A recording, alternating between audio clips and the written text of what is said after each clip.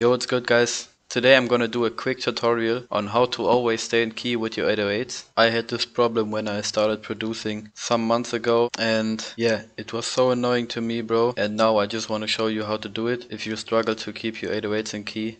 So, first thing we wanna do when we grab a 808, it's not always guaranteed that the drum kit has tuned the 808s, so we have to go into the sampler and check out if this 808 is tuned to C or something else. So for that we right click this button and then we go into edit audio editor and right click again. Then we go into regions and detect pitch regions. So in my case we can see that this is tuned to C. This is actually good for us so we don't have to do anything. But if this was tuned to for example a we had to go into this adjustment section and then we have to use this keyboard to tune this to A. So we would right click on the A note, or what is it G? On the, excuse me, on the A. So now this 808 would be tuned right.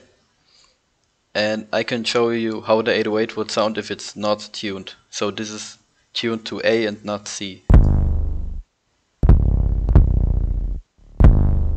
Yeah, this sounds just very weird.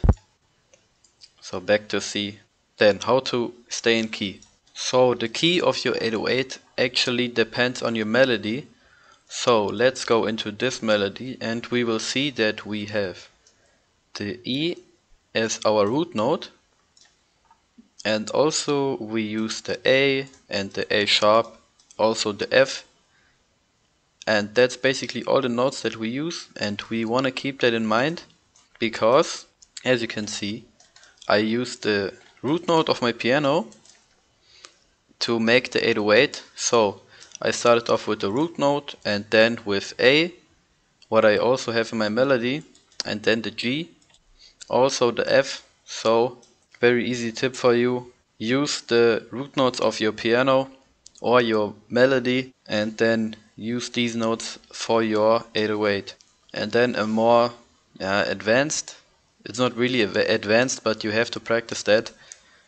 Um, you just pitch up your 808 and then you listen to what sound is in key and what not. So this would sound like this.